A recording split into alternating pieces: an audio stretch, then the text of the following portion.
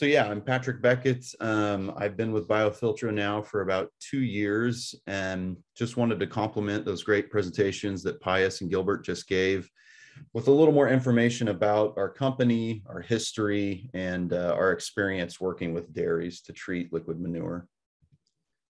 So BioFiltro started in Chile. Um, our technology was first developed in the early 90s. Uh, it was actually the brainchild of a Chilean professor who was uh, trying to treat activated sludge with vermifiltration technology. Our system, which we call the BIDA, it's uh, patented and it's now been installed for wastewater treatments in more than 200 projects around the world. Um, many of these are in South America and North America, but we've also got some experience in Europe as well as some Pacific regions like New Zealand. Uh, we started in the United States in 2015. We currently have 19 operational plants uh, in the West Coast mainly, California, Oregon, and Washington. We treat wastewater with our systems uh, ranging from uh, rural sanitary, wineries, food processors, um, milk processing plants in South America, not in North America yet, uh, but we've done livestock operations in North America. We commissioned seven new plants in 2021, and we've, we've got quite a few in our pipeline for this year as well. In terms of uh, dairy projects, the very first project we did was commissioned in 2015 in Hilmar, California at Fanelli Dairy. This was a demonstration project that I believe was uh, funded by the USDA. And uh, since that time, we've you know, collaborated with multiple third parties to research our system in the context of treating dairy manure. Uh, this has included folks from UC Davis like Frank Mitloehner, um, folks at WSU like Joe Pius Gilbert, who have all looked at um, greenhouse gas emission reductions as well as nutrient removal. We've also worked with some private third parties uh, studying greenhouse gas and nutrient removal at the Fanelli Dairy.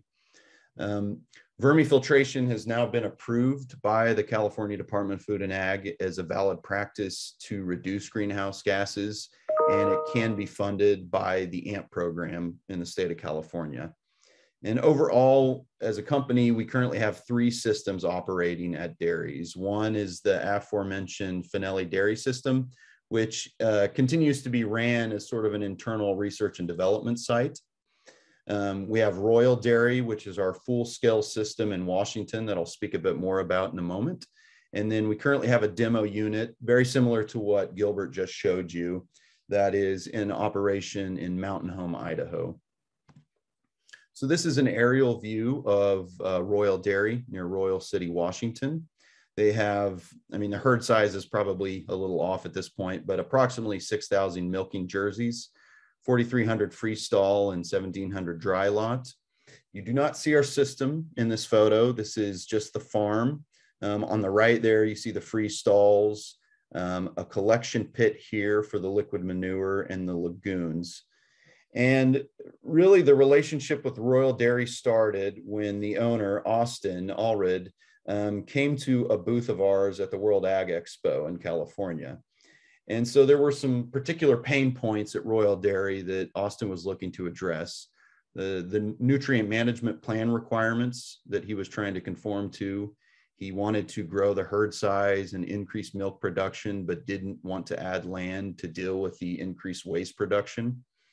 Uh, he had the ongoing cost and liability of hauling liquid manure offsite.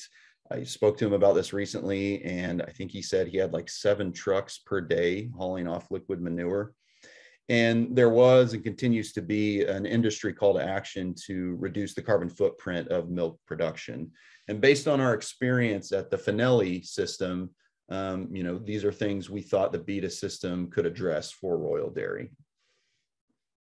So this might be a little busy. I'll try and walk you through it. This is just a process flow diagram essentially to show you where our system fits in to the overall manure management at Royal Dairy. So if we start here at the far right, maybe you can see my cursor. These are the, the flush towers. So the water comes from these, flushes the lanes in these barns. All of that is collected in a central settling pit here. And then from that pit, it's pumped up to a primary screen. I think it's about 3000 micron in terms of the solids it's separating. And before the BIDA was installed, before we started working with Royal Dairy, um, after that primary screen, the liquid manure went into these settling lagoons, and that was the extent of both their solids handling and their treatment of the manure. Um, since we came on board and started working together, it is necessary to ensure uh, proper solids handling upstream of our system, just because it can cause issues with the irrigation nozzles, for example, if you don't. And, and inorganic solids like sand, right? We worms do not uh, break down silicate minerals. So it's best just to remove those before it gets to our system. So we subsequently um, installed a sand lane to settle out some of those larger inorganic solids, as well as a secondary screen here that's about 800 microns. From there, the water is pumped into this holding, the smaller holding lagoon, and then into a small holding tank that's in this building right here. So this is the water that gets pumped out and applied to our actual filter systems. In this building, we also have our pumps and an HMI. The HMI is basically a large touch screen that our operators can use to both see the status of things like pumps, uh, water levels in various parts of the treatment process. We also utilize inline sensors to measure things like total suspended solids and temperature of the wastewater. Um, and they can also, you know, control pumps from here. So from that holding tank, the water then is, it's going out to, you know, we call them treatment beds, essentially. They have lengthwise uh, irrigation pipes with nozzles along those.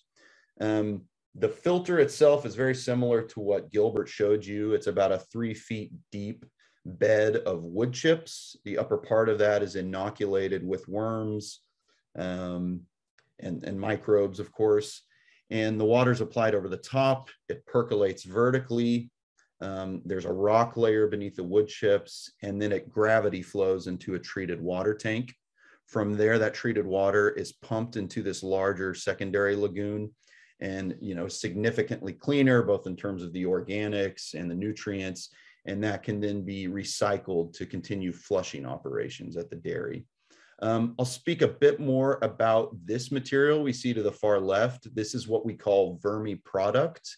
So as Pius was mentioning, there's worm castings. Our vermi product is, is basically every 18 months at Royal Dairy, we completely remove this wood chip layer of the filter. At that point, it's a mixture of worms, worm castings, so worm poop, and undecomposed wood chips. A significant amount of the wood chips have been degraded, but there still are some that aren't.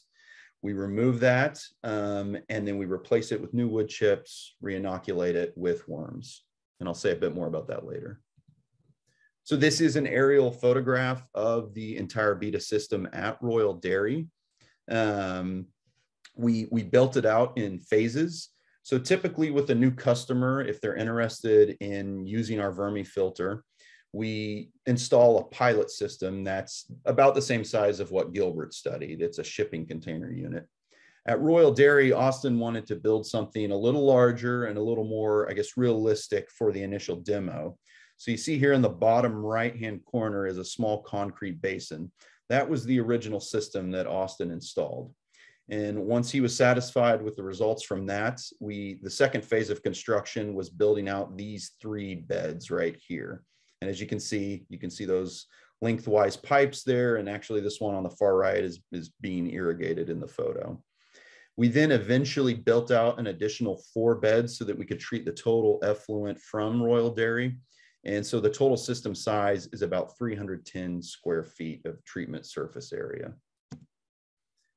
In terms of the performance, uh, the removal of nutrients and organics and solids, um, this data that you see here, these are percent removals of each one of these uh, parameters.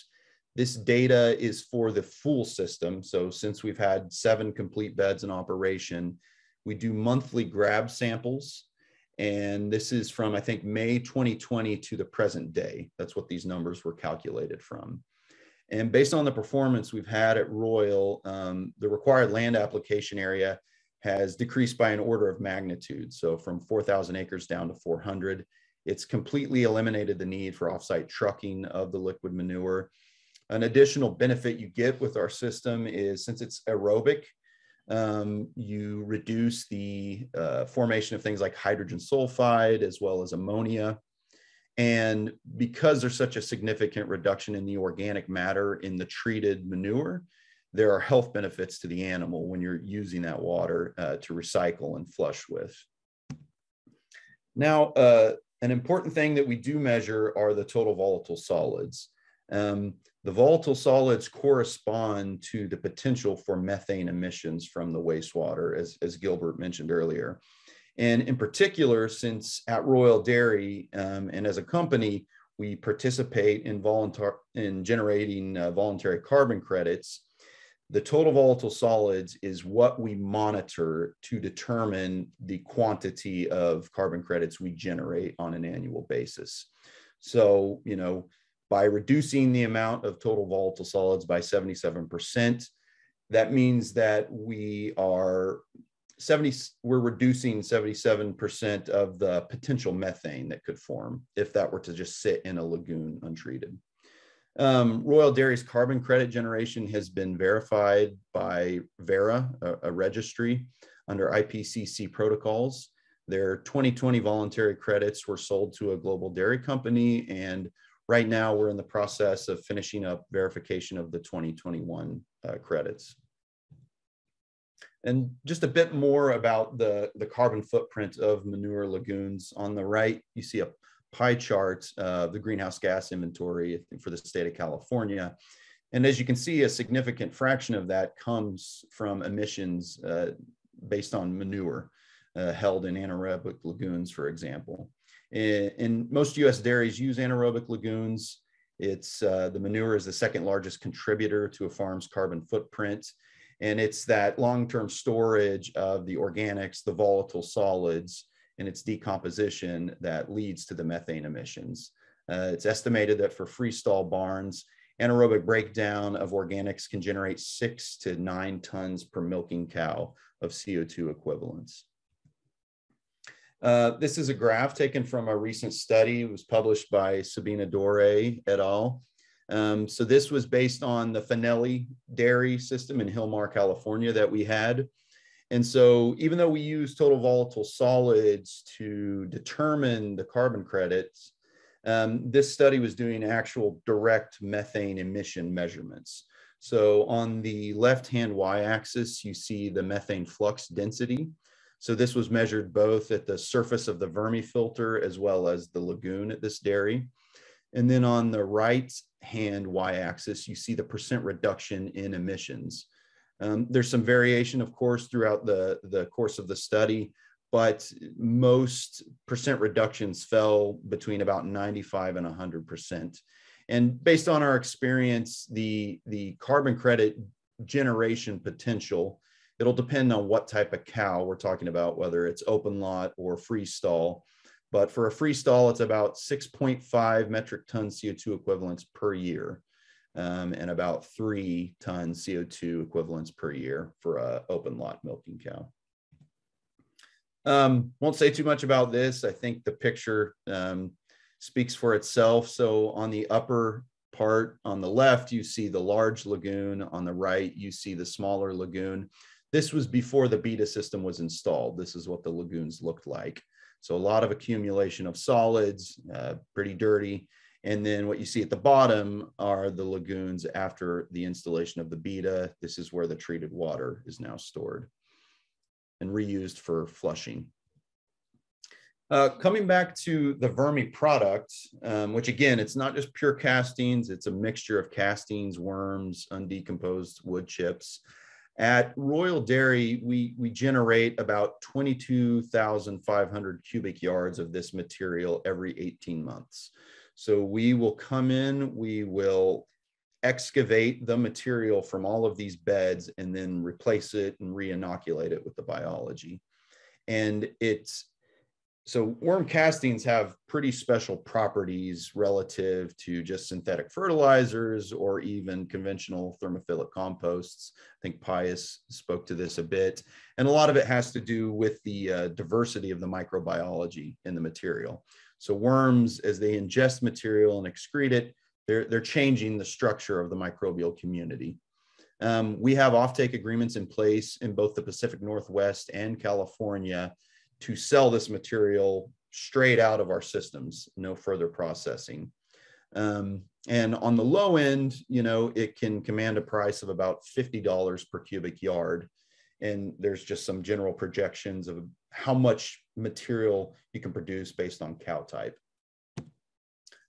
In terms of our business model, how we work with farmers, um, we, we prefer that the farmer provides some solid separation and a bedding recovery system if needed um, that they do the work to integrate their current settling lagoon to our system, so to get water to us, and then does the land and earthwork necessary to install the worm beds. And a, a rough rule of thumb you can use to size a system is you need about 100 square feet per freestall cow in terms of treatment surface area of a BIDA system.